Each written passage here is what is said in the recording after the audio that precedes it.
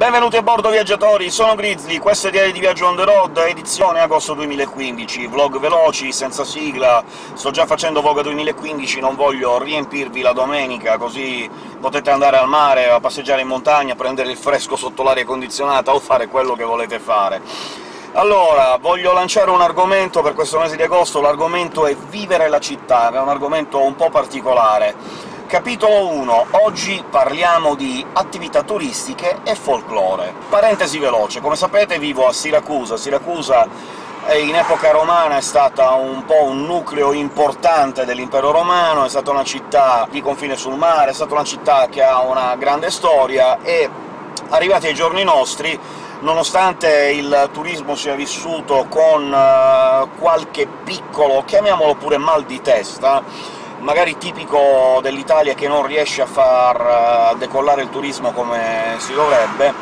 però Siracusa è piena di eh, attività culturali che possono essere fatte, piena di posti che possono essere visitati, c'è un intero quartiere che si chiama Neapolis, dal greco Neapolis, nuova città, che tra l'altro nuova città che è detto nel XXI secolo, che è la parte più antica della città, la parte dove ci sono il teatro greco, l'anfiteatro romano, l'ara di Ierone, l'orecchio di Dionisio, la grotta dei Cordari, cioè tutto raggruppato lì, è la nuova città, non voglio sapere com'è la vecchia città, allora direbbe qualcuno. Sicuramente ci sono tante attività culturali che possono essere fatte in questa città, ci sono state le feste Archimedee, anche se le più interessanti cose su Archimede, sugli Specchio Story, le hanno fatte Mythbuster in California, ma tralasciamo. Ma eh, ci sono dei musei molto importanti, c'è il Museo Paolo Orsi, che sì, lo so, guardato così sembra la fortezza delle scienze, probabilmente, abbiamo sempre detto, magari prima o poi si apre il santuario e viene fuori, non so, Mazinga, perché sembra quello, però è un museo molto importante, c'è tutta la storia di Siracusa nell'area greca, nell'area romana, tutti i ritrovamenti che sono stati fatti nella provincia, e molte cose importanti sicuramente. Quindi quello che è l'ambito turistico in questa città, sicuramente il turista che viene non viene per vedere che c'è una sola cosa e poi se ne va via, c'è tantissimo da vedere, eh, il turismo più moderno sicuramente eh, ha a che fare con eh, le spiagge e i villaggi turistici che ci sono nella provincia, il splendido mare della Sicilia, il sole che mi sta cuocendo in questo momento in cui non posso accendere l'aria condizionata in macchina. E il folklore, che in Sicilia, soprattutto quando si parla di folklore, si parla, dopo la dominazione spagnola, delle feste dei santi che portano appresso tutta la processione, che portano appresso il mercato, che portano appresso tutta tutto il popolo che va a vedere queste feste dei santi e che sicuramente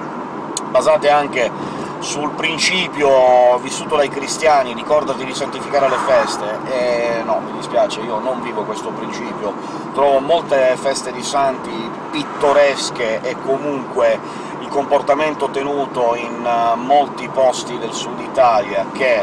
eh, danneggiano, secondo me, anche un po' quello che è il vivere la fede, che sono stati fenomeni come l'inchino della Statua del Santo di fronte alla casa del eh, presunto boss mafioso sono certamente cose che ben poco dovrebbero avere a che fare con il folklore, ma